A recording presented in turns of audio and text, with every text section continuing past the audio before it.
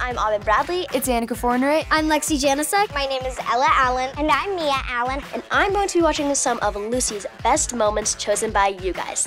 I simply input everyone's data in the form of report cards, journals, medical records, and DNA samples. Wow! How'd you get our DNA samples? She's Did right. I say DNA samples? This is her face. Did I say DNA samples? I love it. I love it. What exactly are we doing? Playing Corpsicle. It's my favorite snow game. How do you win? By getting oh hypothermia? yes. I love her scenes with um, Lisa because I feel like they're kind of like alike because they're both like, what, by getting hypothermia? And she's like, yeah, lying, pretending to be a corpse. I'm just like, go, Lucy. Looks more like an emu trotting across the outback. oh, Scoots. Oh, great. Scoots. Oh my gosh. My Someone favorite person. Leave her alone, Scoots. emu on the loose. Ah! Oh my gosh, what is with this woman and emus? I don't like her. I don't like people who are mean to others for no reason. If you don't have anything nice to say, don't say it. Oh, I, I love this one. My goodness is bad! Come back!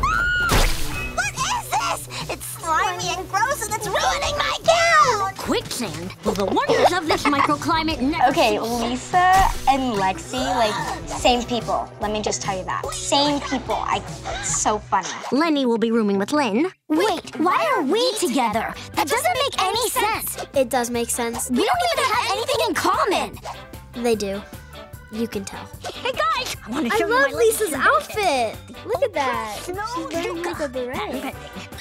Guys, where'd they go? Sheesh, we've created a monster. At least we're safe in here. Yeah, it's not like she can bring snow inside the house. She can. She can, guys. My latest, latest invention! Indoor snow! Patent pending. Evil laugh. Hey, Lola. Want to check out Volume 1 of the greatest romance of all time?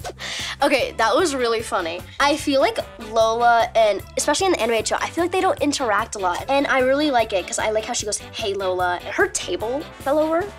And Lucy was like, hey, do you want to learn about this romance novel? I like it. It's great. Ten seconds left on the clock. Okay, she's preparing herself. Pep talk. Me, before I run the mile. I hate it.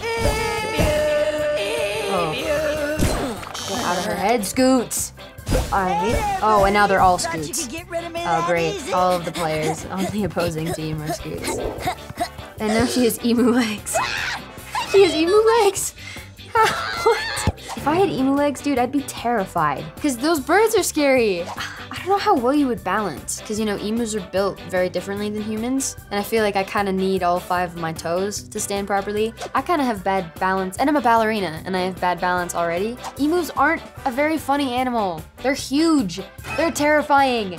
Emus are like way tall. I don't know how tall. I was gonna give you a number, but I realized I don't know. Okay, we actually did something very similar like that. We had a babysitter come over to our house. She was babysitting us one time, and I remember like wanting to like do some kind of prank. And then I remember thinking that I have the item right here, and I have like a little red dot by my eye, so I like drew with like a crayon. I put a red dot on my eye, I, and we, we covered outfits and the whole outfits. thing. I like yeah. tried to mimic her voice and mm-hmm. everything. It was it was really cool. It and was really I interesting. told her a couple days ago, actually. Yeah. Lisa is literally out of control. On the contrary, I've never felt more in control or more alive. She'll have to call you back, Boo Boo Bear. I love you. She did not just say that. Lisa's Lisa's a savage. Ah! Is nothing secret? Lisa even got Lana in the bathroom! She's real on that one. She wants it, man. Take this for safety. Yes, yes, yes. Thanks. Thanks. Watch out! Yay! Get it, Lucy. Wow, nice shot, Lucy. Who knew you were so good at volleyball? Do you want to play with us? Well, did feel surprisingly cathartic. Cathartic. I feel like even if like she was at like an amusement park for like rainbows, clouds, unicorns, she would find a way to make it Lucy. You know? Again, another classic Lucy moment. Heck it, emu! Oh. oh. Oh. Oh my gosh, the poor mascot. I was not a good goalie. I was terrified of the ball when I did soccer. I was like, I don't like the running. Can you put me as goalie? And they were like, yeah. And I went in. I was like, just let it go through. Just let it go through. Don't let it hit me. Was not a good goalie, but props to that girl for being one.